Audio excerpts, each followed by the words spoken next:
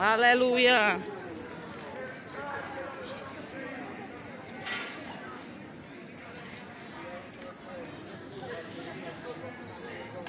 i cieli e la terra passeranno, questo mondo finirà, ma la sua parola rimane eterna. Chi crede in lui ha la vita eterna. Noi siamo di messaggio di questo mondo, cari.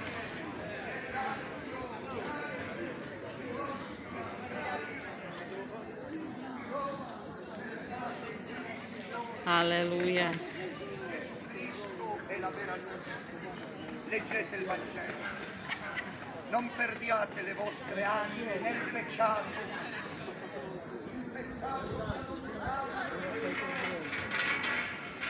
dice la Bibbia chiaramente che la fine del peccato, il salario del peccato è la morte, il peccato porta alla morte, ma il dono di Dio è la vita eterna in Gesù Cristo.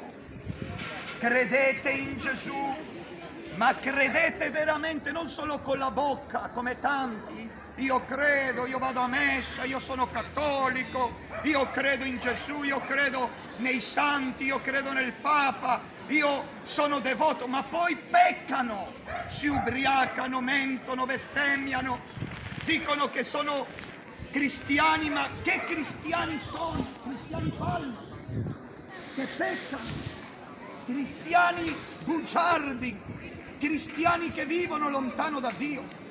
L'Italia dice che è una nazione cristiana, ma non lo è, è una nazione pagana. Sapete che a Roma c'è la culla dell'idolatria, a Roma, qui a pochi chilometri, il cosiddetto Vaticano, è un covo di ladroni, è la culla dell'idolatria mondiale, amano il denaro, i papi sono dei falsi profeti. Noi dobbiamo credere in Gesù, Amen. il re dei re. Alleluia. Alleluia. Risvegliatevi. Gesù è vivo. Non è una statua. Tu non devi inginocchiarti davanti a una statua. Non devi inginocchiarti davanti a una Madonna di legno, a un santo di metallo, di pietra, una scultura, una statua. Non bisogna inginocchiarsi agli idoli, ma solo a- davanti a Dio Onnipotente. Noi siamo venuti a predicare il vero messaggio del Vangelo, perché noi siamo negli ultimi tempi, sapete? Le cose che stanno succedendo a livello mondiale sono segni della fine. Il Covid-19 è un segno della fine. È una piaga che ci ricorda le piaghe che verranno durante i tempi descritti dell'Apocalisse. Il Covid è una piaga degli ultimi tempi. Cercate il Signore, siate umili, convertitevi, abbandonate il peccato, abbandonate i vizi, preparate i vostri cuori, convertitevi, alleluia, pentitevi, perché verrà una fine sulla terra. Le cose che stiamo vedendo a livello mondiale, la crisi mondiale, le cose che peggiorano giorno per giorno, l'economia che crolla, il dilagare di questa pandemia è un segno della fine. Perché siete ciechi? Avete un cuore di pietra, pensate solo a divertirvi. Cosa farete quando chiuderanno di nuovo i bar? Cosa farete quando chiuderanno di nuovo le discoteche? Cosa farete quando chiuderanno tutto, alleluia? Cercate la verità, alleluia. Cercate la luce. Cercate la salvezza. La salvezza dell'anima è la cosa più importante. È questo quello che predichiamo. Il messaggio di Gesù. Oh, alleluia, che morì alla croce per salvare i peccatori, che morì alla croce per salvare le peccatrici. E quando lui, alleluia, era sulla croce, lui diceva, Padre, Padre, perdonali. Voi avete bisogno del perdono, come anche noi abbiamo avuto il perdono, Anche voi avete bisogno del perdono, perché anche voi avete dei peccati. Cari del Lazio, è l'unico che perdona i peccati, non è un prete, i preti non vi perdonano, perché loro sono i peggiori peccatori. L'unico che perdona è Gesù.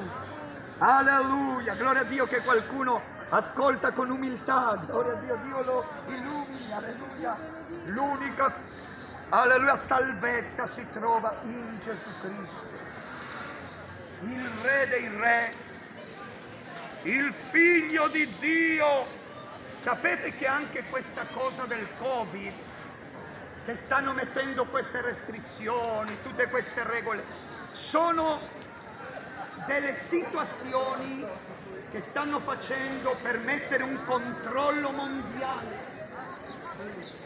Un controllo mondiale perché verrà il governo dell'anticristo, che il Signore lo sgridi.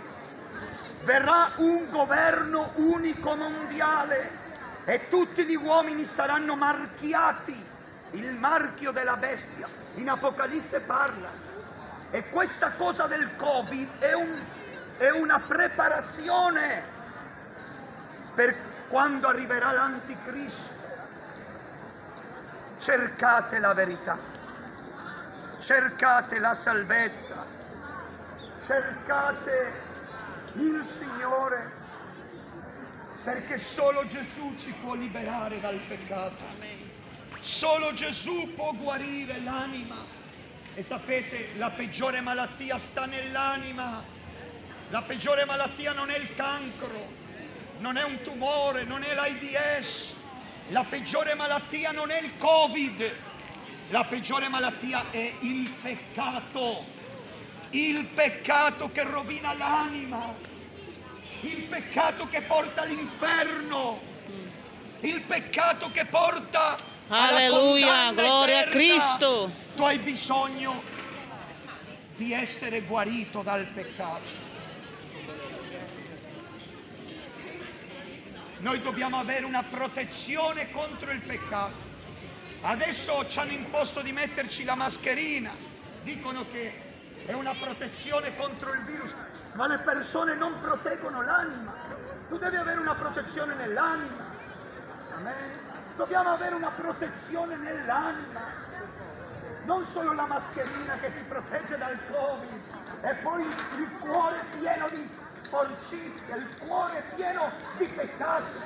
A che ti serve avere una mascherina se poi dentro di te c'è il peggiore virus, che è il peccato? Gesù ti vuole guarire dal peccato, alleluia.